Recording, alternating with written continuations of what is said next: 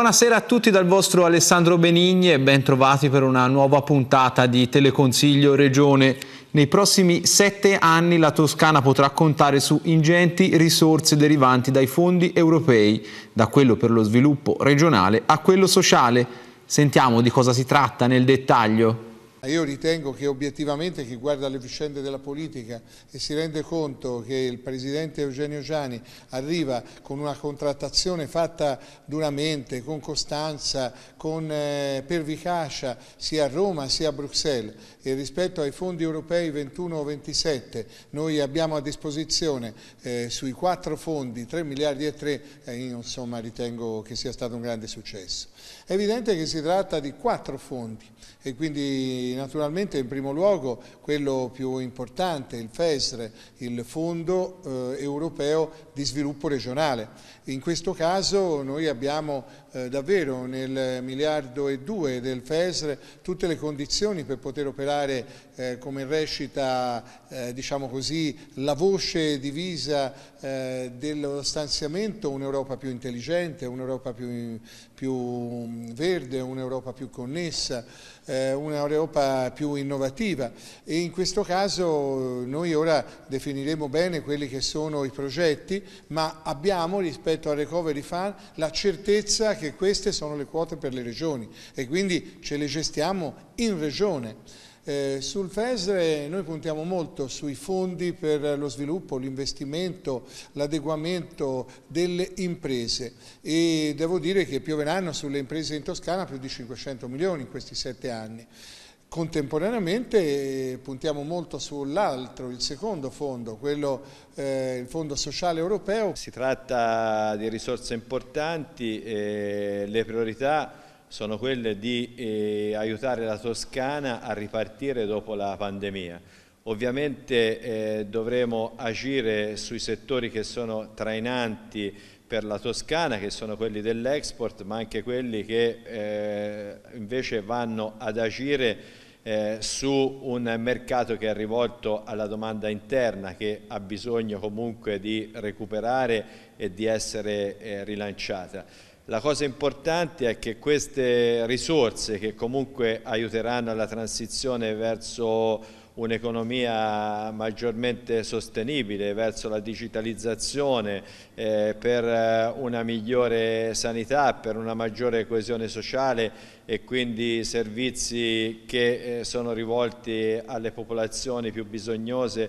ad iniziare dalla popolazione anziana. Beh, tutte queste priorità, fra l'altro, coincidono con le priorità che sono contenute nelle sei missioni del PNRR, quindi sarà importante cercare di armonizzare gli interventi, quindi avere un quadro complessivo di eh, finanziamenti da dirottare sui eh, settori finanziabili con il PNRR e invece cioè, finanziare altri settori non riconducibili alle provvidenze del PNRR da finanziare con la programmazione ordinaria o con i fondi aggiuntivi 30 miliardi che il governo ha messo a disposizione. Tanto sono arrivati tanti soldi eh, che dalla comunicazione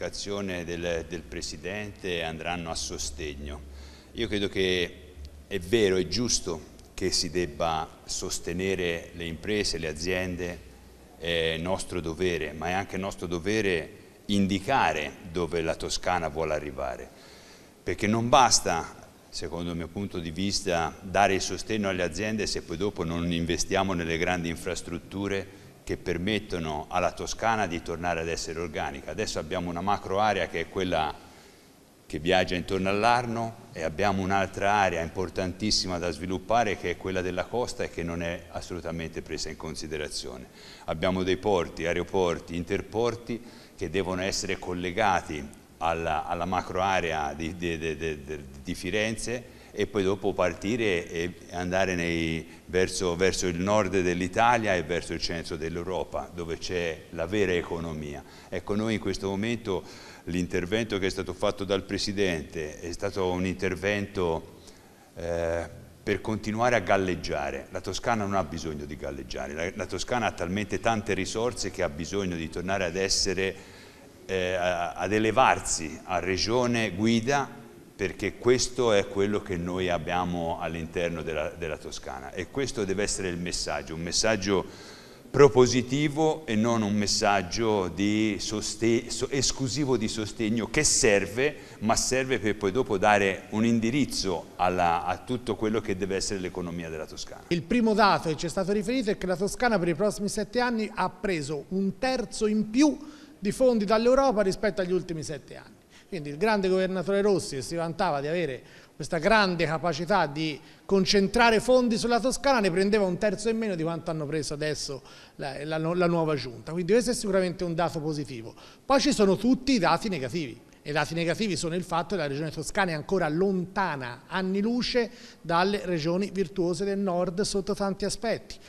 ne dico una su tutti, si parla tanto di mobilità sostenibile, la Toscana ha l'8% di colonnine di ricarica elettrica diffuse sul territorio nazionale, la Lombardia ne ha il doppio. Eh, il trasporto pubblico su gomma è ancora il trasporto pubblico predominante in Toscana, nonostante sia eh, la fonte maggiore di gas serra ed è ancora lontana anni luce la Toscana nella conversione sul trasporto ecosostenibile rispetto alle regioni virtuose del nord. Eh, si parla di adeguamento di strutture alla normativa antisismica, ma si parla soltanto di strutture sanitarie e ospedaliere che per l'amor di Dio hanno bisogno di essere adeguate, ma non c'è una parola una sulle strutture strutture scolastiche. Noi abbiamo ancora scuole in Toscana che sembrano essere uscite da, dal libro cuore dell'Ottocento, quindi eh, c'è ancora tanto da fare. La speranza è che, visto che sono arrivati tanti soldi, in tutto sono quasi 3 miliardi di euro da destinare alla regione toscana, che, che la, questa giunta faccia le scelte giuste. Noi dalla prossima volta saremo in aula con decine di proposte, vediamo quanto quante di queste saranno recepite dalla maggioranza. È finalmente ripartita la scuola con la speranza di far vivere a ragazzi e ragazze un'annata all'insegna della normalità dopo tanti problemi, ma le incognite, sempre ovviamente legate alla pandemia, non mancano questa fase è piuttosto preoccupante perché a due settimane dalla ripresa della scuola eh, sono molte le quarantene negli istituti scolastici. In Toscana non siamo ehm, in una condizione così preoccupante, diciamo, ecco, anche se i numeri chiaramente stanno cominciando ad attirare l'attenzione. Il tema più che altro è quello delle modalità di applicazione della quarantena che la legge prevede, perché al momento ancora ehm, il, nel caso di un alunno positivo si mette in quarantena obbligata tutta la classe, spesso senza distinzioni tra vaccinati e non vaccinati, o con una distinzione di pochi giorni, sette giorni in un caso e dieci giorni nell'altro. Eh, si stanno studiando correttivi a questo dispositivo, eh, uno dei, dei più diciamo, promossi è quello della cosiddetta quarantena aereo, eh, che prevede la messa in quarantena soltanto di coloro che in base a una individuazione più o meno attendibile dei flussi d'aria negli ambienti, isolerebbe soltanto stretti, i contatti strettissimi, i compagni di banco ehm, e le persone più vicine all'alunno in questione nel caso fosse positivo. C'è un atto nostro ormai approvato dal Consiglio che chiede anche l'utilizzo dei tamponi salivari, vedo che qualche scuola parte, credo dovrebbe partire tutta la Toscana, dovremmo semplificare la permanenza delle scuole dei ragazzi, bisogna arrivare a fare in modo che la didattica in presenza non si interrompa mai e quindi anche le quarantene devono essere più corte possibili, più circoscritte, non bisogna mai fermare la didattica. Quindi io sono favorevole per quarantene mirate, non per quarantene di classe o di istituti, sempre presenza, sempre alleggerire il peso sui ragazzi per arrivare poi a un certo punto a rendere strutturali i tamponi salivari e quando possibile anche con congruo distanziamento consentire ai ragazzi di non utilizzare la mascherina, penso soprattutto negli orari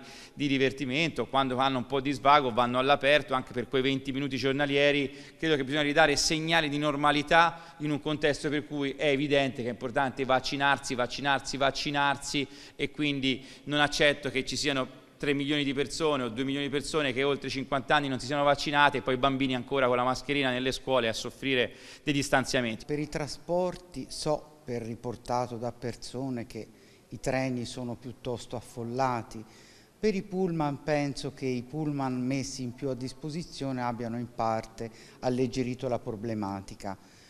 Per quanto riguarda i contagi, eh, leggevamo stamani 3.900 cont alunni contagiati, questo vuol dire troppe classi in DAD. Io credo che nelle classi dove il distanziamento c'è non occorra mettere tutta la classe se c'è un caso positivo, bisognerebbe forse mettere i compagni vicini, non lo so perché insomma, i ragazzini stanno con le mascherine in una classe dove dico se la distanza è quella conforme non c'è bisogno di mettere tutti, altrimenti anche l'insegnante, anche il collegio dei docenti, perché l'insegnante va nel collegio dei docenti e quindi si va a finire tutta la scuola. Di soluzioni improvvisate su questa pandemia ne abbiamo viste talmente tante che ormai non ci meravigliamo di niente. Abbiamo visto i distanziamenti passare da due metri a un metro, passare dei, sui treni regionali non ci vuole il Green Pass e si può stare tutti ammassati, ma sui Freccia Rossa può, dove i posti sono prenotati e si è già distanziati dagli altri invece ci vuole il Green Pass. Quindi di, di, di provvedimenti di ogni genere e tipo, quindi la, il discorso quarantena light, quarantena normale, il problema è un altro, il problema è che in un anno non è stato fatto assolutamente niente per la scuola, non è stato fatto niente di quello che era stato promesso per la scuola se non provvedimenti inutili come quello di diminuire da due metri a un metro il distanziamento tra i banchi e la cattedra, come se quest'anno il Covid fosse stanco, non riuscisse più a saltare di due metri, ora salta solo di uno e quindi credo che rientri in, questo, in, in questi provvedimenti senza spiegazione. L'unica novità, per fortuna, e questa sono felice che finalmente sia arrivata, è quella dei tamponi salivari. Se il Comitato Tecnico Scientifico, alla luce delle eh, percentuali di persone vaccinate, dà un certo tipo di indicazioni, noi siamo assolutamente favorevoli. Purtroppo c'è ancora il nodo del trasporto pubblico perché noi in Toscana scontiamo parecchio questo problema, un po' dovuto anche all'avvicendamento, a tutti i ricorsi al TAR, a tutte le vicende giudiziarie che eh, ci hanno visto penalizzati da questo punto di vista. Si spera che a novembre finalmente ci sia il passaggio ad autolinee toscane e si arrivi eh, diciamo, a una pacificazione e a un'implementazione del servizio perché non ci possiamo più permettere che di queste diatribe ne facciano spese eh, i cittadini. Eh, I territori periferici sono i più penalizzati ed è difficile anche eh, organizzare per le famiglie i trasporti eh, con i figli, il lavoro, insomma dal 2 al 10 ottobre Sinalunga ospita la Fiera alla Pieve, manifestazione cardine del sud della Toscana che da oltre 100 anni mette al centro le eccellenze della Val di Chiana. Vediamo. È molto mh, importante presentare qui nel cuore della regione toscana una fiera centenaria come la Fiera di Sinalunga che partirà il prossimo sabato 2 ottobre perché noi crediamo e siamo fortemente convinti che nelle tradizioni materiali, nella cultura materiale dei nostri territori si esprima gran parte della nostra identità culturale. E, è sempre importante ricordarsi chi siamo, da dove veniamo, quali sono le nostre qualità, i talenti del nostro territorio, eh, le specificità, ma lo è ancora di più in un tempo come questo che ha sofferto eh, che ha dovuto rinunciare a tante belle tradizioni, anche questa della Fiera di Sinalunga che è stata sospesa per il Covid nel 2020, ma quest'anno ritroverà tutto il suo splendore e anche la gioia di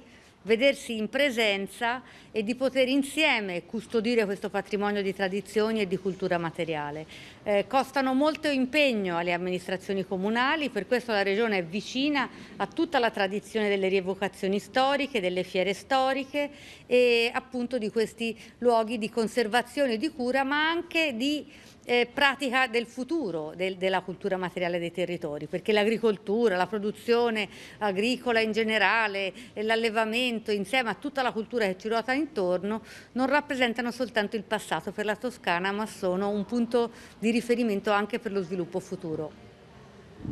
Per me è un onore, per la mia comunità ugualmente è un onore essere qua in, eh, in sala della Regione Toscana a poter presentare eh, un'iniziativa che purtroppo l'anno scorso ha avuto uno stop eh, dovuto al Covid, eh, quest'anno è l'anno della ripartenza, è una fiera eh, cosiddetta chiamata Pieve, la, la, Fiera alla Pieve perché proprio viene situata nella frazione bassa insomma, di, di, di Sinalunga. Insomma è legata e ha radici eh, religiose perché è dedicata alla Madonna del Rosario, ma negli anni è sempre stata, e ripeto è una fiera centenaria, eh, il momento dove eh, le economie locali e in, in particolar modo quelle più rurali, contadine e della mezzadria andavano in piazza a presentare, vendere e scambiare i propri, i propri, prodotti. È una fiera che si pone nello scenario regionale come la fiera più grande della, della regione, raggiungendo quasi 500 banchi di esposizione. È una fiera che guarda sia al passato e alle tradizioni del passato, non vogliamo certo dimenticare questo aspetto qui che ci appartiene in maniera particolare, ma guarda soprattutto al futuro, a rimettere insieme quelle che sono le economie e le eccellenze di questo territorio a riproporre all'interno della fiera aree eh, specifiche dove, specifiche dove vengono valorizzate queste eccellenze, quindi uno spazio importante legato a quello che è eh, l'agricoltura, quello che è le, le produzioni orticole, eh, quello che è lo street food dei cibi locali mangiati per strada eh, e soprattutto quello che è l'elemento di valorizzazione veramente della razza chianina